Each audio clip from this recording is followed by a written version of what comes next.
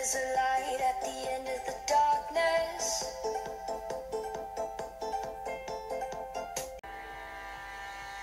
Run.